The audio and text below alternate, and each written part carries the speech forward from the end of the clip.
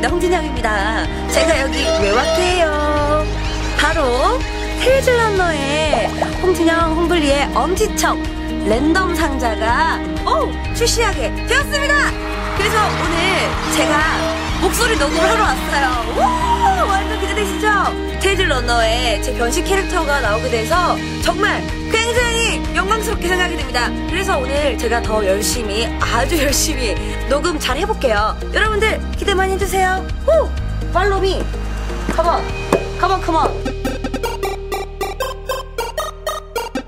똑같이 되죠. 어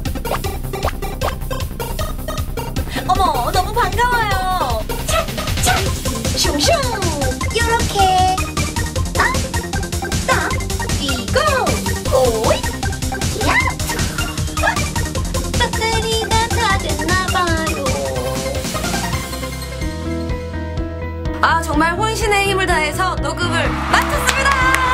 오늘 녹음한 목소리는 바로 오늘 공개되는 제 변신 캐릭터에서 만나보실 수 있습니다. 와 여러분 완전 기대되시죠? 네 홍진영의 엄지척 랜덤 상자를 구매하신 런너 분들께는요 제 꿀피부를 보여주는 자외선이 싫어요.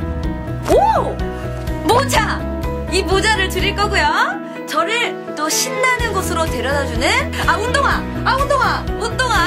하나 더! 한짝 더! 한짝만 드리는 거 아니에요? 두 짝 다 드립니다. 아 예 운동화. 그리고 제가 또 요즘에 한창 꽂힌 티셔츠. 어 죄송 여기요. 어 가고 싶은 느낌이에요. 알로하. 네 여러분들 이 세 가지 드리니까요. 여러분들 많이 사랑해 주시고요. 앞으로 여러분 테일즈 러너 정말 많은 사랑 부탁드리고요. 저 진영이도 많이 예뻐해 주셨으면 좋겠습니다. 지금까지 홍진영이었습니다